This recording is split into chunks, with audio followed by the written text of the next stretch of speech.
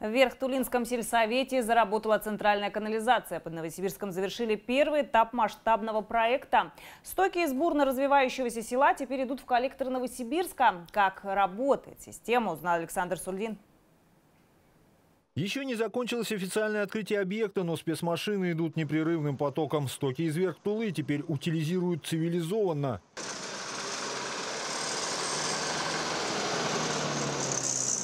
Площадка, пара модулей. В одном собирают стоки и вот таким приспособлением вылавливают из них полиэтиленовые пакеты и крупный мусор. Под землей огромная емкость для накопления отходов. Их разбавляют водой из скважин и гонят под давлением в сторону Новосибирска. В этом помещении располагается пункт управления канализационно-насосной станцией. Можно сказать, это только ее вершина. Устройство служит для подъема оборудования из подвала глубиной в 6 метров для обслуживания техники здесь, на поверхности. Всего здесь 4 насоса. Управляет ими автоматика и наполнение емкости. Система включает нужный мотор. Вот сейчас видно, что один кубик и работает один насос, когда будет 5, задействуют сразу все и это только малая часть большого проекта. В сторону Новосибирска протянули коллектор. 6 километров труб. На улице Петухова соединились с подземными сетями мегаполиса, которые идут к очистным сооружениям.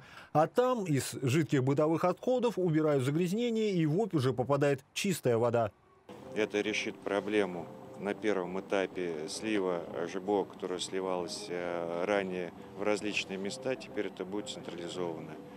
Вторым этапом который уже начал реализовываться и будет реализован а в следующем году. Это уже подключение социально значимых объектов, а, всей инфраструктуры Верхтулы и 8 марта.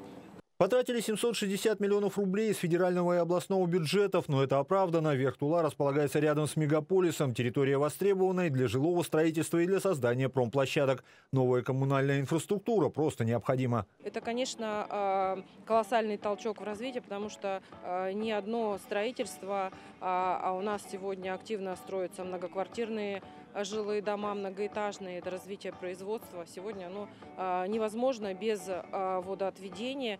После того, как завершат второй этап, сюда уже не будут ездить, а с машины. Стоки пойдут напрямую от домов вверх Тулы. Александр Сульдин, Валерий Павлов, Новости ОТС.